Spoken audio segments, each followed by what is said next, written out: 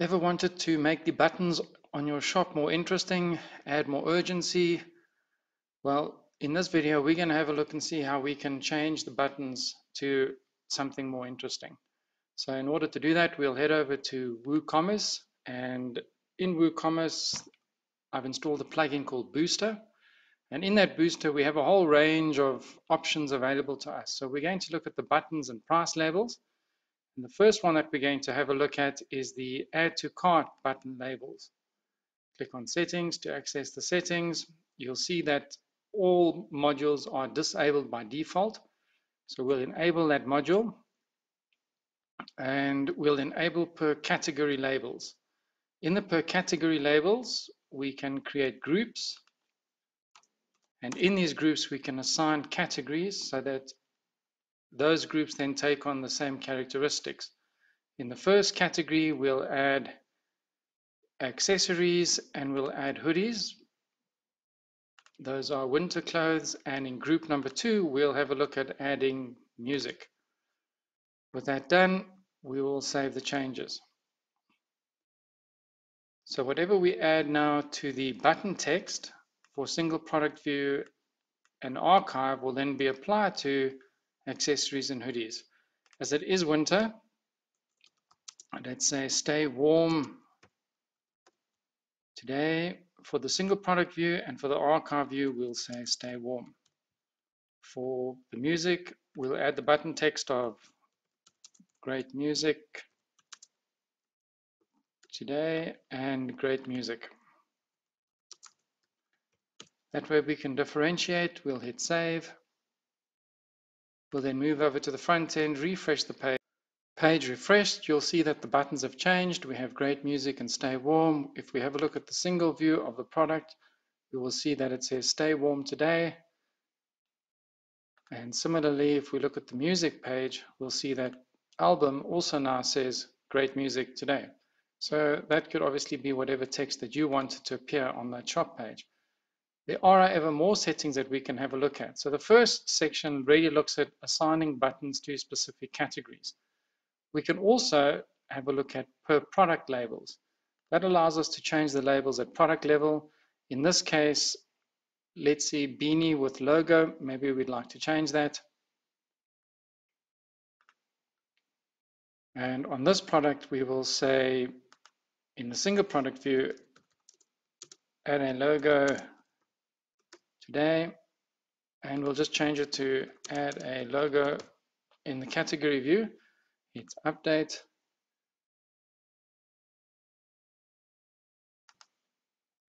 View the product. And you'll now see that we have add a logo today. And if we head back to the shop you'll see we have add a logo. Now that we've change the product values at product level, let's see what happens if we go in and remove the accessory from the group. So these were global settings that we had at category level. We'll go back, we'll refresh the page, and you'll now see that the categories default back to add to cart. However, changes made at product level remain. So just bear that in mind if you do make a change that anything you do at product level will still be in place even if you remove those settings at category level. So that was looking at category level. We've had a brief look at the per product, but we can also do it by product type. We'll enable this section and you'll see at the moment that on simple product, we have add to cart, add to cart, and then read more if there are any variations. On the variable product, we have select options. Uh, on We don't have any external products, but there we have buy product. And on the group product, we have view products.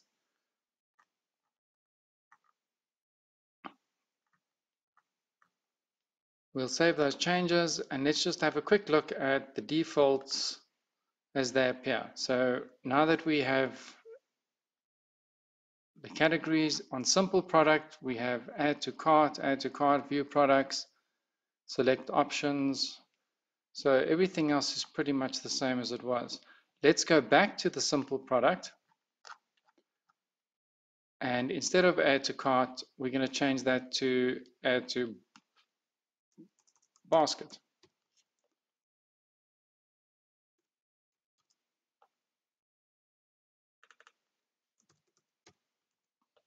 And what we'll also do, because included in the setting, is we can also then change for sale items. So for sale items, we will say add to sale basket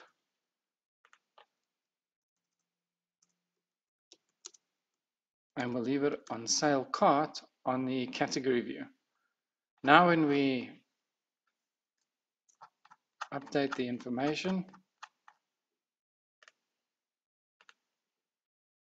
refresh the page, you'll see that those product type settings will now apply. However, the category settings remain as they are and single product settings remain as they are. Anything that wasn't allocated into the category settings will now say add to basket, add to basket instead of the add to cart default. Let's have a look and see what happens then with an item that's on sale. You'll see that the sale item in the back end, we said add to sale cart and add to sale basket. And if we have a look here, you'll see that we now have add to sale cart. And if we click on the individual item, it will say add to basket. There's another setting that comes into play on sale items. Should I add this to my basket? Right there, I've added it to my basket and I refresh the page. You will see that the label on the button goes back to add to cart. That's here in the settings where already in cart, single product view, already in cart product category view.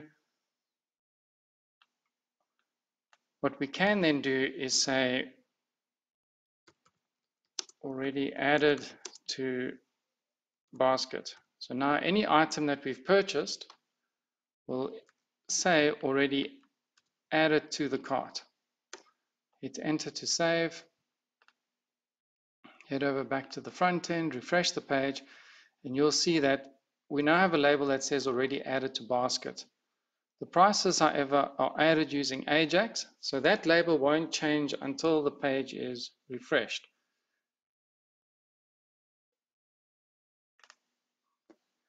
There is another anomaly that might crop up, and that would be if you have a product, say with the price of zero.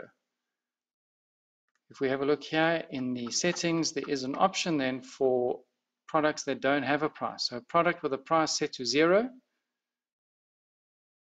we can now create a button for those two. Now, we could say, for example, price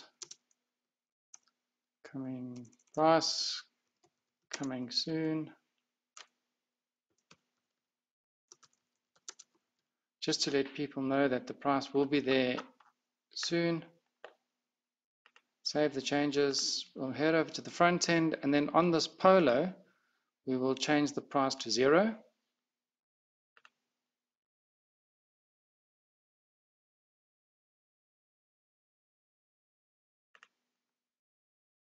Regular price zero. Update the details. We'll then view that product.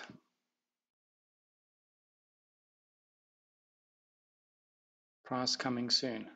So people can then see that the price is on zero, but they're also informed that there will be the price coming soon. So that's how we can have a look at changing the product details by product type. In that case, we were looking at the simple product.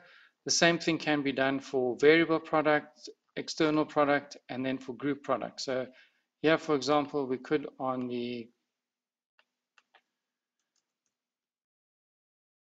view group products on the single view and in the category view, we could say view all products included.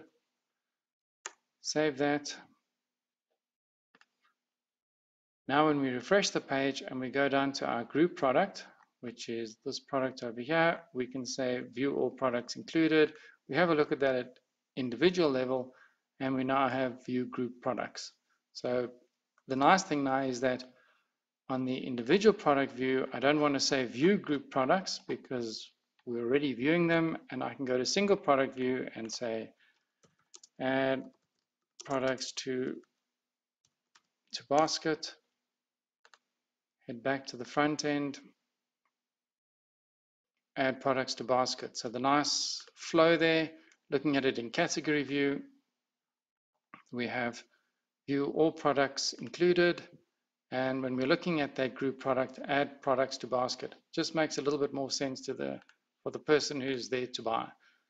Let's head back to the settings page then. We've had looked at simple under variable products. We could select options is good, but if we wanted to uh, make it more personal, we could say personalize your purchase.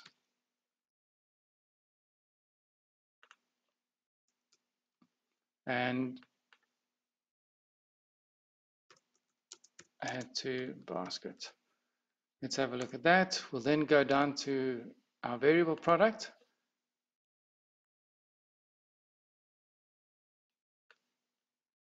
Personalize your purchase, which is on a v-neck t-shirt. You might want to put in your own size. And here then we have the add to basket. So that is how you would customize a variable product.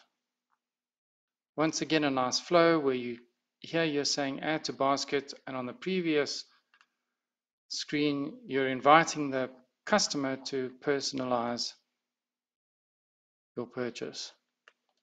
Great, well that has a look at a quick overview then of what's possible with the button. Right, well I hope you enjoyed that maybe got some ideas of how you can change the buttons on your site to be a little bit more appealing to your customers. Thank you for watching.